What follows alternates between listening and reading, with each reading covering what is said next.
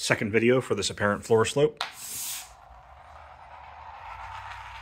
Ball bearing is accelerating, indicating that a low point would be at the rear port of this portion of the structure as well.